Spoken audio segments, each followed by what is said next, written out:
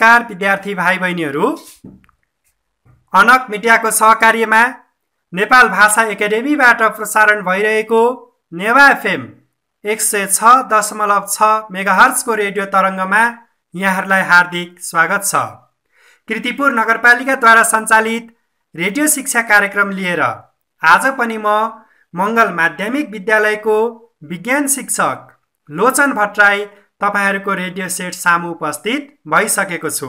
विद्यार्थी भाइ बहिनीहरू तपाईँहरूले कक्षा आठको विज्ञान विषयको रेडियो पाठ हरेक हप्ताको बुधबार बिहान सात तिस बजेबाट आठ बजेसम्म सुन्न सक्नुहुन्छ भने यस कार्यक्रमको पुनः प्रसारण साँझ छ बजे सुन्न सक्नुहुन्छ।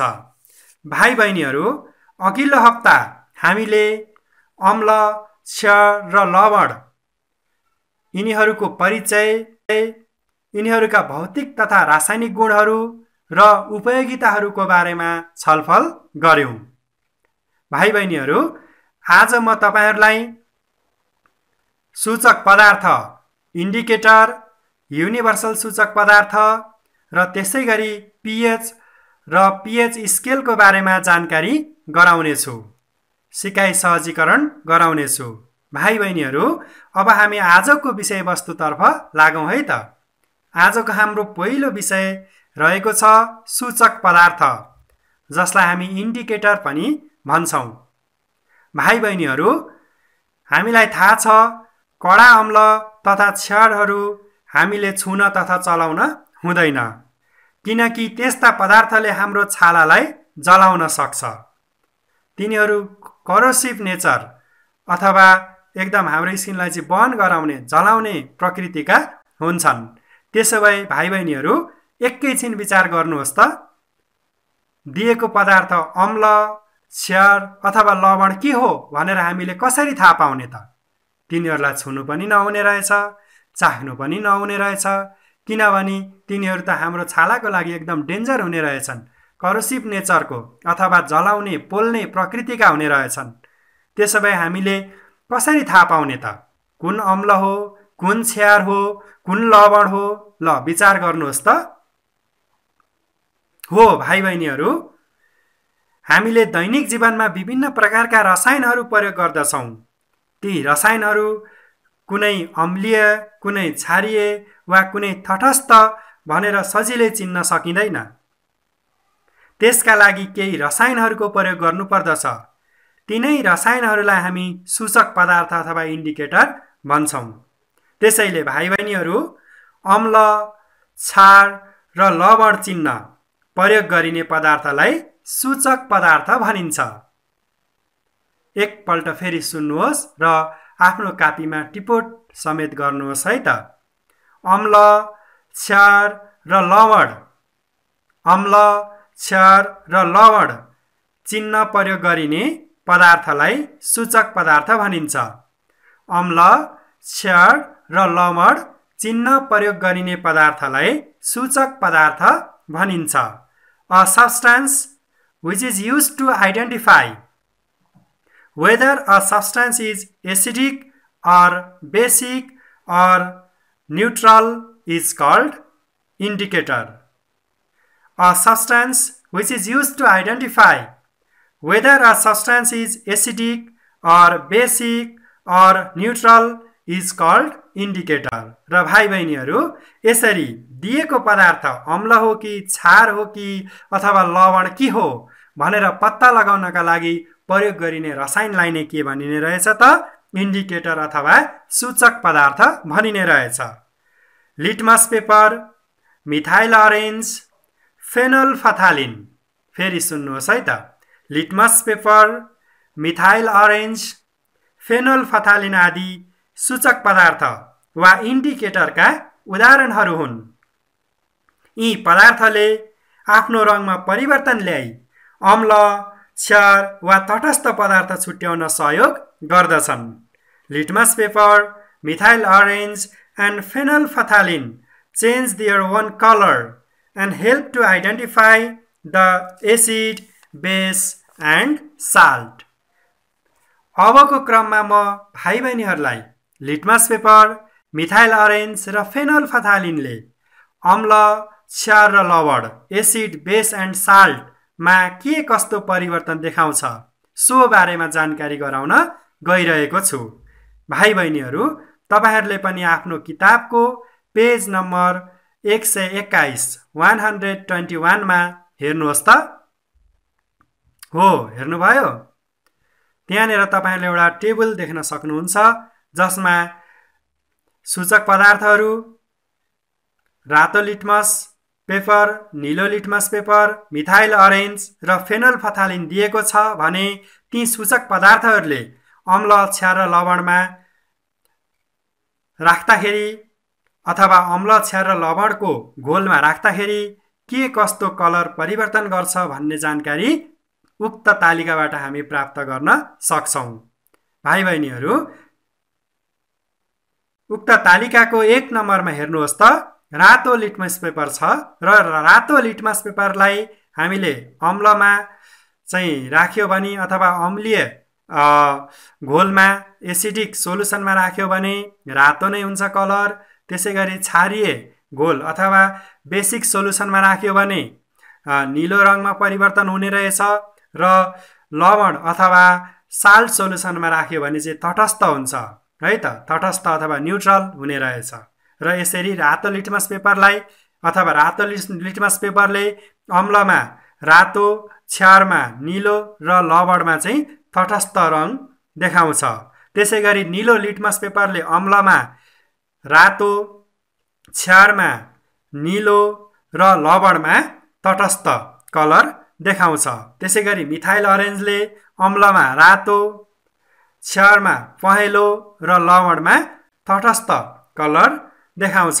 र त्यसै गरी भाइ बहिनीहरू फेनोल फथालिनलाई हामीले अम्लमा राख्यो भने यो कलरलेस अथवा रङ्गहीन र बन्छ र त्यसै गरी फेनोल फथालिनलाई छ्यारमा राख्दा गुलाबी रङमा परिवर्तन हुन्छ र फेनोल फथालिनलाई चाहिँ हामीले लवणमा राखियो भने यो के हुने रहेछ त?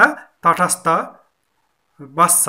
र यसरी हामीले भाइ बहिनीहरू यो सूचक पदार्थहरूलाई चाहिँ अम्ल छ्यार र लवणको सोलुसनमा राख्दा के कस्तो कलरमा के कस्तो रङमा चाहिँ परिवर्तन आउँछ? त्यसैको आधारमा उक्त पदार्थहरू अम्ल हो कि छ्यार हो कि अथवा लवण हो भन्ने कुरा सजिलै जानकारी लिन सक्छौँ। र भाइ बहिनीहरू तपाईँहरूले यो तालिकालाई सम्झनु पनि पर्ने हुन्छ र फेरि पनि म एकचोटि दोहोऱ्याउँदैछु है त। रातो लिटमस पेपर रातो लिटमस पेपर निलो लिटमस पेपर र मिथाइल अरेन्ज।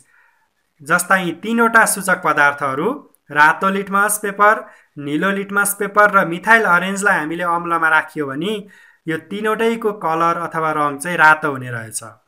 भनेपछि भाइ बहिनीहरू अम्लले चाहिँ धेरै जसो पदार्थहरूलाई धेरै जसो सूचक पदार्थहरू चाहिँ अम्लमा राख्दाखेरि रातो रङमै रातो रङमा देखिने रहेछन् अथवा रातो कलरमा परिवर्तन हुने रहेछन्। र त्यसै गरी रातो लिटमस र निलो लिटमस पेपरलाई हामीले छ्याडमा अथवा बेसिक सोलुसनमा राख्यो भने रातो लिटमस पेपर र निलो लिटमस पेपर दुवैको कलर चाहिँ निलो रङको हुने रहेछ। र मिथाइल अरेन्जलाई चाहिँ छ्याड सोलुसनमा राख्दा पहेँलो रङमा परिवर्तन हुन्छ।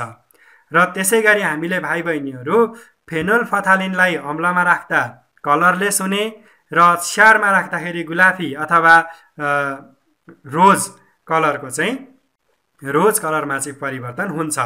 तर भाइ बहिनीहरू यी सबै सूचक पदार्थहरू रातो लिटमस पेपर निलो लिटमस पेपर मिथाइल अरेन्ज र फेनोल फथालिन जस्ता यी चारवटै सूचक पदार्थलाई तपाईँहरूले लवणको घोल अथवा साल्ट सोलुसनमा राख्नुभयो भने यिनीहरू तटस्थ बस्छन् अथवा न्युट्रल हुन्छन्।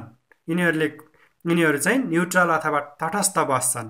र यसरी भाइ बहिनीहरू हामीले उक्त सूचक पदार्थहरूको सहायताद्वारा दिएको सोलुसन एसिडिक हो कि बेसिक हो कि अथवा साल्ट हो त?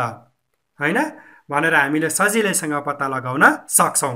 यसरी भाइ बहिनीहरू सूचक पदार्थले रसायनलाई अम्लिय वा छारिए वा तटस्थ के हो भनी छुट्याउन सक्छ।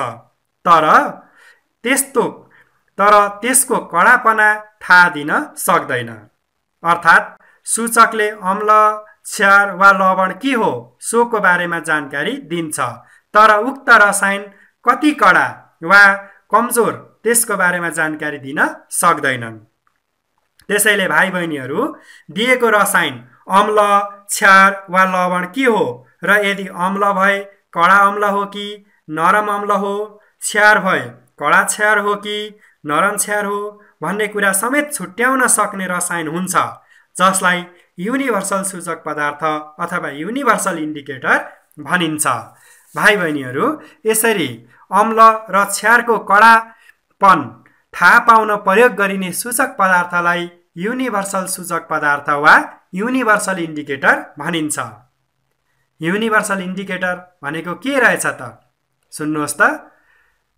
अम्ल र क्षारको कडापन थाहा पाउन प्रयोग गरिने सूचक पदार्थलाई अम्ल र क्षारको कडापन अथवा स्ट्रेन्थ थाहा पाउन प्रयोग गरिने सूचक पदार्थलाई युनिभर्सल सूचक पदार्थ अथवा युनिभर्सल इन्डिकेटर भनिन्छ। भाइ बहिनीहरू सूचक पदार्थले दिएको पदार्थ अम्ल हो कि छ्यार हो कि अथवा लवण हो भन्ने कुरा मात्र जानकारी गराउँछ। तर यदि अम्ल हो भने कस्तो अम्ल हो त? कडा अम्ल हो कि नरम अम्ल हो भन्ने कुरा सूचक पदार्थले जानकारी गराउँदैन। तर युनिभर्सल इन्डिकेटरले दिएको पदार्थ दिएको सोलुसन अम्ल हो कि छ्यार हो कि लवण हो भन्ने कुरा जानकारी दिनका साथै उक्त पदार्थ अम्ल हो भने कतिको कडा अम्ल हो अथवा छ्यार हो भने कडा छ्यार हो कि नरम छ्यार हो त्यसको बारेमा समेत जानकारी गराउँछ। र यसरी अम्ल र छ्यारको कडापन थाहा पाउन प्रयोग गरिने सूचक पदार्थलाई युनिभर्सल सूचक पदार्थ वा युनिभर्सल इन्डिकेटर भनिन्छ। The indicator which is use to identify the strength of acids or base is called universal indicator the indicator which is use to identify the strength of acid or base is called universal indicator यसरी धेरै प्रकारका रङ भएका सूचक पदार्थहरू मिलाई universal सूचक पदार्थ बनाइएको हुन्छ। भाइ बहिनीहरू धेरै प्रकारका रङ भएका सूचक पदार्थहरू मिलाएर युनिभर्सल सूचक पदार्थ बनाइएको हुन्छ। सूचक सूचक पदार्थ पदार्थमा रातो र गाढा रातो रङले अम्ललाई जनाउँछ। भने निलो र गाढा निलो रङले क्षरलाई जनाउँछ। र हरियो रङले तटस्थ जनाउँछ। The indicator having red or dark red colour denote acid and blue or dark blue colour denote base the green colour indicate neutral substance भाइ बहिनीहरू एउटा कुरा के विचार गर्नुहोस् भने युनिभर्सल सूचक पदार्थ पदार्थले रङहरूलाई पिएच स्केल अथवा पिएच स्केलले जनाइन्छ है त? युनिभर्सल जुन युनिभर्सल सूचक रङहरूलाई चाहिँ युनिभर्सल सूचक रङहरूलाई चाहिँ पिएच स्केलले जनाइन्छ। भाइ बहिनीहरू तपाईँहरूले सूचक पदार्थ इन्डिकेटर र युनिभर्सल सूचक पदार्थ वा युनिभर्सल इन्डिकेटरको बारेमा त जानकारी प्राप्त गर्नुभयो। सूचक पदार्थ र युनिभर्सल सूचक पदार्थ अथवा इन्डिकेटर र युनिभर्सल इन्डिकेटरका बिचमा के कस्ता भिन्नताहरू रहेका छन्? एकैछिन विचार गर्नुहोस् त। ल भाइ बहिनीहरू अब सुन्नुहोस् है त। सूचक पदार्थ अथवा इन्डिकेटर। सूचक पदार्थले रस सूचक पदार्थले रसायन अम्ल हो अथवा क्षार अथवा लवण के हो त्यसको जानकारी गराउँछ। सूचक पदार्थले दिएको रसायन अम्ल क्षण वा लवण के हो? त्यसको बारेमा जानकारी गराउँछ। Indicator identify only whether the chemical is acid base or salt तर युनिभर्सल सूचक पदार्थ अथवा युनिभर्सल इन्डिकेटरले के गर्छ त भाइ बहिनीहरू युनिभर्सल सूचक पदार्थले दिएको रसायन अम्ल क्षण वा लवण के हो? छुट्याउनका साथै त्यसको कडापनको बारेमा समेत जानकारी गराउँछ। यहाँ विचार गर्नुहोस् है त। सूचक पदार्थले दिएको रसायन अम्ल क्षार वा लवण के हो? त्यो छुट्याउने काम मात्र गर्छ। तर युनिभर्सल सूचक पदार्थले दिएको पदार्थ अम्ल क्षार अथवा लवण के हो?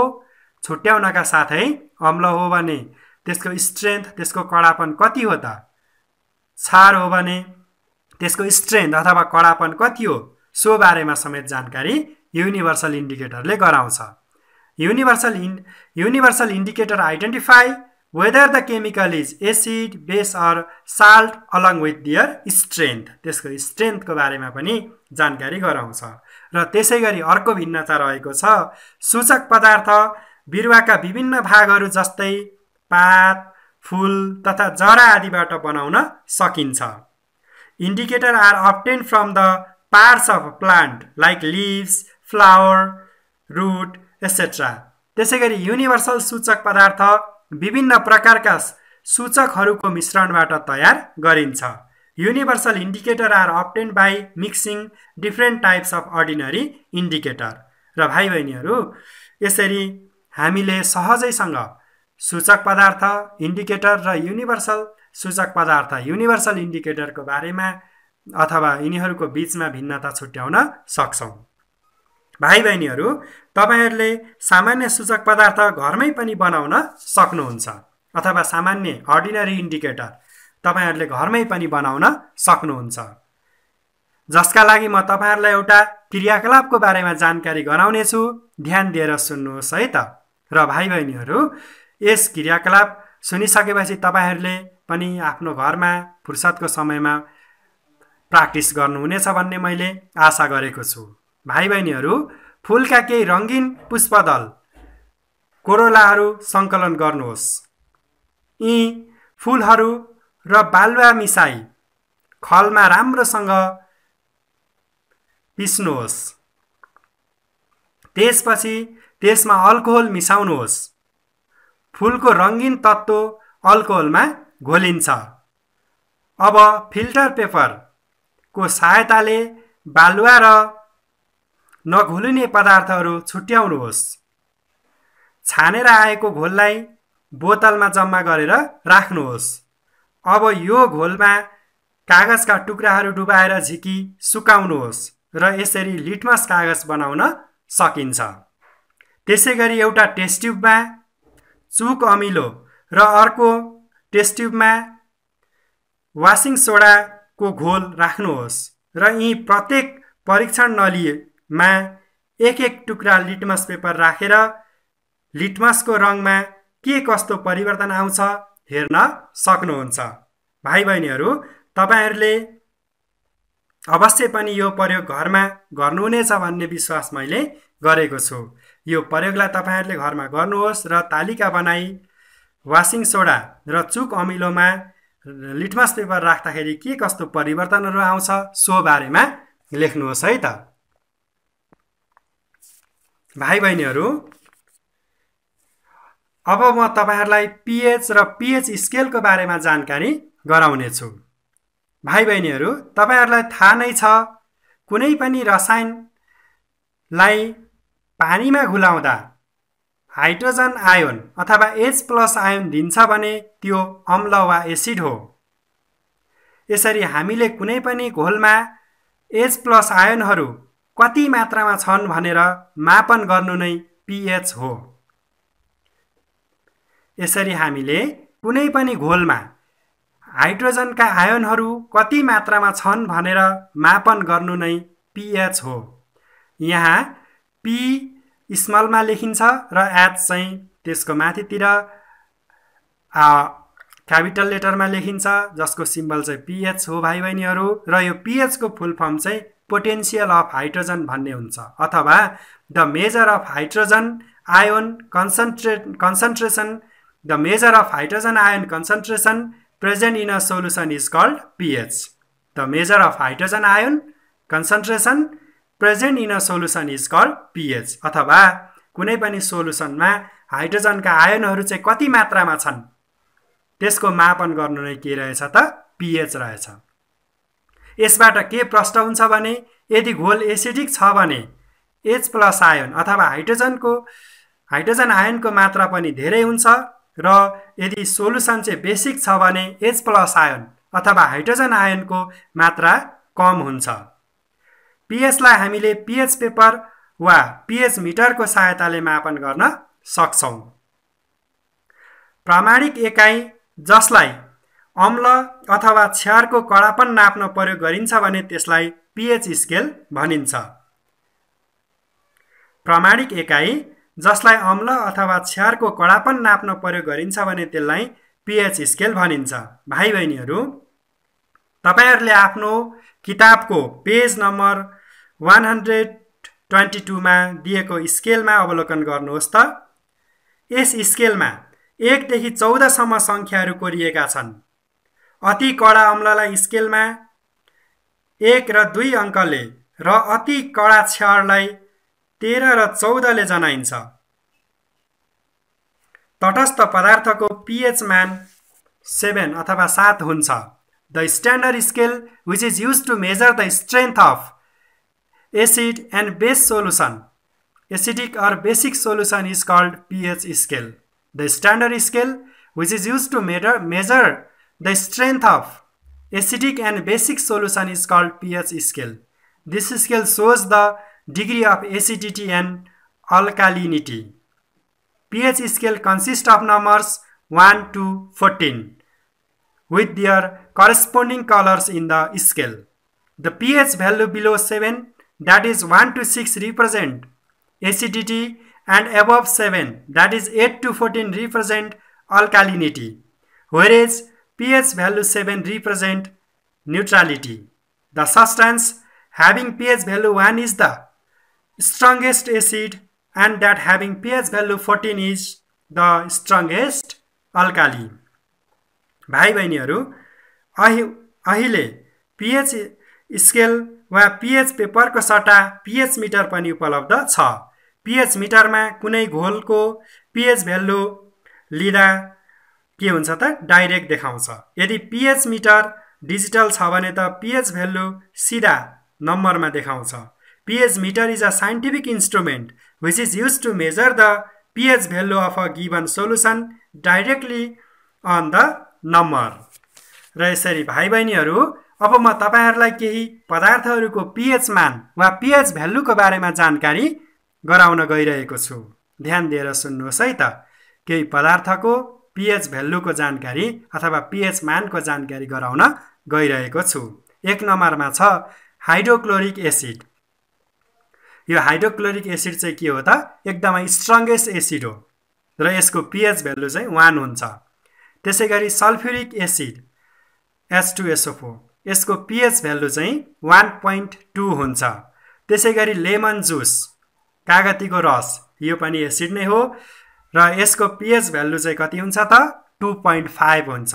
र भाइ बहिनीहरू त्यसै गरी स्याउ एप्पल भिनेगर त्यसै गरी कार्बोनिक एसिड यिनीहरूको चाहिँ पिएच भ्यालु थ्री हुन्छ। है त? तपाईँहरूले बुझ्नुहोस् कि वानदेखि सिक्ससम्म पिएच भ्यालु छ भने ती सबै एसिड हुन्। र वान चाहिँ स्ट्रङ्गेस्ट एसिड भयो। र वानदेखि टू थ्री फोर फाइभ हुँदै जाँदाखेरि यो एसिडको एसिडिटी अथवा यसको स्ट्रेन्थ चाहिँ घट्दै जाने रहेछ है त। र त्यसै गरी बटर जुन नहुने छ यसको भ्यालु चाहिँ सिक्स हुन्छ है त भाइ बहिनीहरू बटरको भ्यालु पिएच भ्यालु कति हुने रहेछ? सिक्स हुन्छ। र यो पनि एसिड नै रहेछ। तर कस्तो एसिड हो त? एकदम विक एसिड हो। यो स्ट्रङ एसिड होइन। त्यसै गरी वाटर पानी साल्ट सोलुसन होइन? साल्ट सोलुसन त्यसै गरी लबडको घोल नुनको घोल त्यसै गरी सुगर सोलुसन चिनीको घोल इथानोल यिनीहरू चाहिँ यिनीहरूको पिएच भ्यालु चाहिँ सेभेन हुन्छ। र यदि पिएचको भ्यालु चाहिँ सेभेन छ भने त्यो चाहिँ न्युट्रल हो। न्युट्रल सब्सटेन्स हो। नाइदर एसिडिक नर बेसिक त्यो एसिड पनि होइन बेस पनि होइन। है त? पानी त्यसै गरी चिनीको घोल नुनको घोल इथानोलहरू यिनीहरू चाहिँ के रहेछन् त? यिनीहरू चाहिँ न्युट्रल सब्सटेन्स हुन् है त? यिनीहरू चाहिँ लवण हुन्। त्यसै गरी ह्युमेन ब्लड यो मान्छेको ब्लडको चाहिँ pH value seven point three हुन्छ। अब सेभेन न्युट्रल भयो यो चाहिँ साल्ट भयो वानदेखि सिक्ससम्म पिएच भ्यालु भएको सब्सटान्सहरू चाहिँ एसिड भए र एटदेखि फोर्टिनसम्म पिएच भ्यालु भएका सब्सटान्सहरू चाहिँ के हुन् त भाइ बहिनीहरू एटदेखि फोर्टिनसम्म पिएच भ्यालु भएका सब्सटान्सहरू चाहिँ बेस हुन् र eight nine ten eleven twelve thirteen fourteen यसरी पिएच भेल्यु चाहिँ बढ्दै गयो भने यो बेसको स्ट्रेन्थ पनि बढ्दै जान्छ र पिएच भेल्यु चाहिँ फोर्टिन भएको बेस चाहिँ के हो त? स्ट्रङ्गेस्ट बेस हो। र पिएच भेल्यु एट भएको बेस चाहिँ के रहेछ त? विकेस्ट अथवा विक बेस्ट बेस हो। है ह्युमेन ब्लड चाहिँ ब्लडको चाहिँ pH value seven point three छ विक बेस रहेछ यो। त्यसै गरी baking soda eight point five छ यसको पिएच भ्यालु त्यसै गरी एमोनियम हाइड्रोअक्साइडको पिएच भ्यालु टेन छ। त्यसै गरी washing सोडाको N A two C O three washing soda sodium कार्बोनेटको pH value eleven point five छ। त्यसै गरी सोडियम हाइड्रोअक्साइडको पिएच भ्यालु चाहिँ थर्टिन छ। भाइ बहिनीहरू यो सोडियम हाइड्रोअक्साइड चाहिँ स्ट्रङ्गेस्ट के रहेछ त। यो बेस हो जसको पिएच भ्यालु थर्टिन छ। र यसरी तपाईँहरूले केही पदार्थहरूका पिएच भ्यालु पनि थाहा पाउनुभयो। र यो पिएच भ्यालुकै आधारमा हामी पदार्थहरू एसिडिक हो कि बेसिक हो र त्यसको स्ट्रेन्थको आधारमा विक हो कि स्ट्रङ हो भन्ने कुरा पनि थाहा पाउन सक्छौँ। ल त भाइ बहिनीहरू आजको हाम्रो निर्धारित समय पनि सकिनै लागेको छ। र यसका साथै यो हाम्रो एकाइ एसिड बेस र साल्ट अथवा अम्ल छ्यार र लवण पनि हामीले अध्ययन गरिसकेका छौँ र यस एकाइ अन्तर्गत दिएका अभ्यासहरू तपाईँहरूले घरमै राम्रोसँग सफासँग कापीमा लेख्नुहोस् र विद्यालय खुलेपछि आफ्ना शिक्षक शिक्षिकाहरूलाई देखाउनु नै हुनेछ भन्ने आशाका साथ आजको यस रेडियो शिक्षा कार्यक्रमबाट म बिदा हुन्छु। तपाईँहरूको दिन शुभ रहोस्। नमस्ते।